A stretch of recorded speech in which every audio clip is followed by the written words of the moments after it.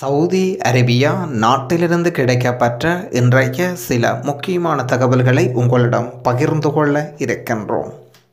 இன்று பதிவினால் பதினான்காம் திகதி பத்தாம் மாதம் இரண்டாயிரத்தி இருபதாம் ஆண்டு. சவுதி அரேபியாவில் கைத்தொலைபேசி பழுது பார்க்கும்போது வெடித்து சிதறியது. வைரலானது சமூக வலைத்தளங்களில் அதனுடைய வீடியோ பதிவொன்றும் வடமேற்கு சவுதி அரேபியாவில் உள்ள தாஃபூக் கடையில் பழுது பார்க்கும் தொழில்நுட்ப வல்லுநரின் முகத்தில்.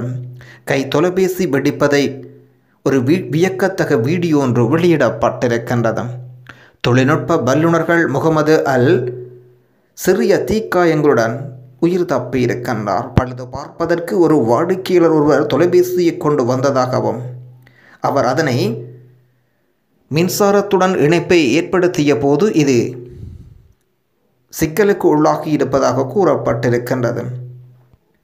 அவர் தொலைபேசியை பரிசோதித்தவுடன் அவரது முகத்தில் வெடித்தவுடன் கடையில் சிறியளவிலான நடத்தி ஏற்பட்டிருக்கின்றது. சவுதி அரேபியாவில் மார்பக புற்றுநோய் காரணமாக இரண்டாயிரத்தி இருநூற்றி எண்பத்தி ரெண்டு பேர் உயிரிழப்பு.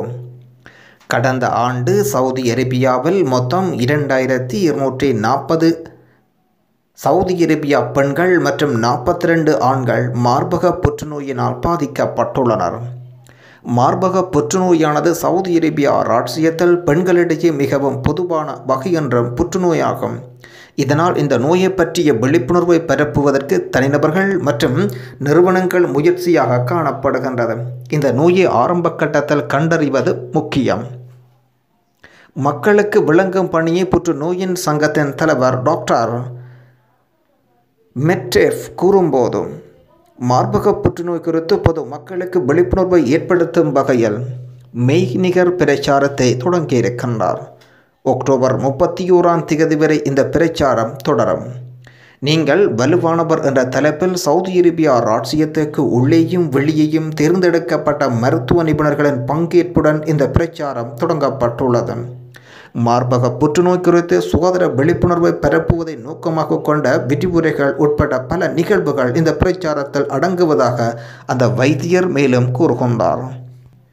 வெளிநாட்டவரின் ஈகாமாவை பயன்படுத்தி இரண்டு வெளிநாட்டவர்கள் கைது.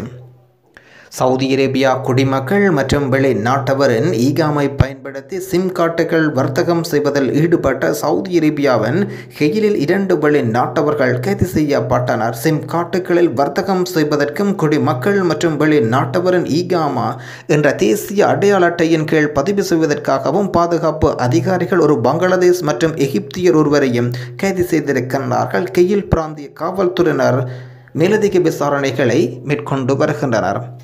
அதிகாரிகள் தங்கள் அவர்கள் வசம் இருந்த இரண்டாயிரத்தி அறுநூற்றி தொண்ணூற்றி ஐந்து ஈகாமா அட்டைகளையும் பறிமுதல் செய்திருக்கின்றார்கள்.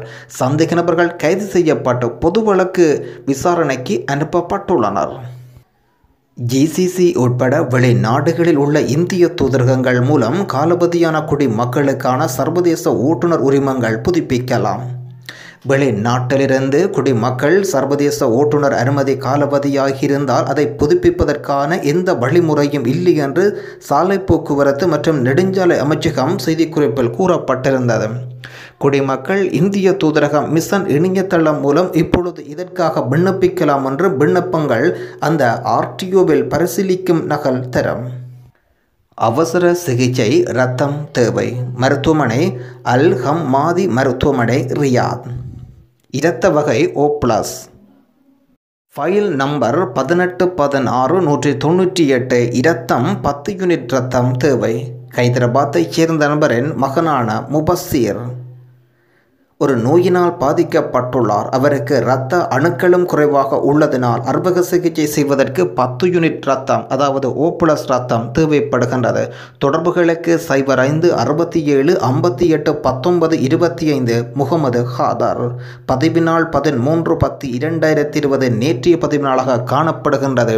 தொலைபேசி மூலம் தொடர்புகளை ஏற்படுத்திய பின்பு நீங்கள் அவர்களுடன் தொடர்புகளை ஏற்படுத்தி ரத்தம் கொடுப்பதற்கான முயற்சியை மேற்கொள்ளுங்கள். தகவல் கனி பத்தா பிளாக் கமிட்டி தலைவர் இந்தியன் சோசல் போரம் ரியாத். தனியார் துறையில் வேலை நேரத்தை முப்பது மணி நேரமாக குறைக்க முன்மொழி செய்யப்பட்டிருக்கின்றது. உம்ரா யாத்திரைகள் நியமிக்கப்பட்ட நேரத்துக்கு முன்னர் இல்லியை அடைந்தால் திருப்பி அனுப்பப்படுவார்கள். தொழிலாளர்களின் தங்குமிட விவரங்கள் தொழிலாளர் அமைச்சகத்துக்கு வழங்கப்பட வேண்டும். சவுதி அரேபியா ஏர்லைன்ஸ் பயனாளர்களின் டிஜிட்டல் அனுபவத்தை மேம்படுத்த புதிய சேவை அறிமுகம். இன்றைய நாணய பெறுமதிகள் இந்திய ரூபாவில் பத்தொன்பது தசம் இருபத்தி ஏழு புள்ளிகள் இலங்கை ரூபாவில் நாற்பத்தி எட்டு தசம் எண்பத்தி நான்கு புள்ளிகள். மூவாயிரத்தி இருநூறு ரியால்கள் அரசாங்க ஆதரவு திட்டத்துக்கு தகுதியான சவுதி அரேபியா ஊழியர்களுக்கு குறைந்தபட்ச ஊதியமாக அமைக்கப்பட்டன. குளக் டவர் மேலிருந்து அல் ஹரமை நேரடியாக எடுக்கப்பட்ட மக்காவின் அரிய புகைப்படம் இது. வந்தே பாரத் திட்டத்தின் அடிப்படையில் மிஷன் ஏழு பதினான்காம் திகதி இன்று தொடக்கம் இருபத்தி எட்டாம் திகதி வரை முப்பத்தி ரெண்டு விமானங்கள் சிறப்பு விமானங்கள் வந்தே பாரத் திட்டத்தின் கீழ் சவுதி அரேபியா நாட்டிலிருந்து ஒழுங்கமைக்கப்பட்டிருக்கின்றது. குறிப்பாக யதா தமாம் ரியாத் ஆகிய பகுதிகளிலிருந்து இந்தியாவின் பல்வேறு நகரங்களுக்கு இது பயணத்தை மேற்கொள்ள இருப்பதும் சிறப்பு. டிக்கெட் முன்பதிவுகளுக்கு முந்திக் கொண்டுங்கள். குறிப்பாக பதினைந்தாம் திகதி தமாமிலிருந்து சென்னைக்கு வந்தே பாரத் திட்டத்தின் கீழ் ஒரு சிறப்பு விமானம் உண்டு. அதேபோல் திருச்சிக்கு தமாமிலிருந்து பதினைந்தாம் திகதி மன்னிக்கவும் பத்தொன்பதாம் திகதி திருச்சிக்கு தமாமிலிருந்து திருச்சிக்கு ஒரு விமானம் பயணத்தை மேற்கொள்ள இருப்பதும் சிறப்பு. கடந்த இருபத்தி நான்கு மணி நேரத்தில் புதிதாக நானூற்றி எழுபத்தி நான்கு நபர்களுக்கு வைரஸ் தொற்று இனங்காணப்பட்டிருக்கின்றது கடந்த இருபத்தி நான்கு மணி நேரத்தில் பத்தொன்பது நபர்கள் சிகிச்சை பலனின்றி உயிரிழந்திருக்கின்றார்கள். வைரஸினால் பாதிப்படைந்த நபர்களின் மொத்த எண்ணிக்கை மூன்று லட்சத்தி நாற்பதனாயிரத்தி எண்பத்தி ஒன்பது நபர்கள் ஆகும்.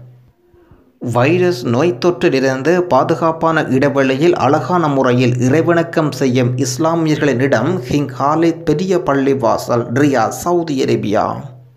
Indian social போரத்தின் முயற்சியினால் தமிழகத்தைச் சேர்ந்தவர் ஊருக்கு பயணம். சவுதி அரேபியா ரியாத்தில் உள்ள நசீம் பகுதியில் உள்ள வீட்டு டிரைவராக சீர்காழியைச் சேர்ந்தவர் வேலை பார்த்து வந்துள்ளார் இவருடைய முதலாளி கடந்த நான்கு வருடங்களாக இவருக்கு விசா அடிக்காத காரணத்தினால் இவரால் ஊருக்கு செல்ல இயலவில்லை. பல மாதங்களாக சம்பளம் சரியாக கொடுப்பதில்லை. ஊருக்கு அனுப்பி வைக்குமாறு முதலாளியிடம் தினமும் முறையிட்டுள்ளார். அவரோ இந்திய தூதரகத்தின் மூலம் செல்லுமாறு குறிப்பிட்டுள்ளார். ஓடிப்போய் விட்டதாக பாஸ்போர்ட் அலுவலகத்தில் புகாரும் அளித்துள்ளார்.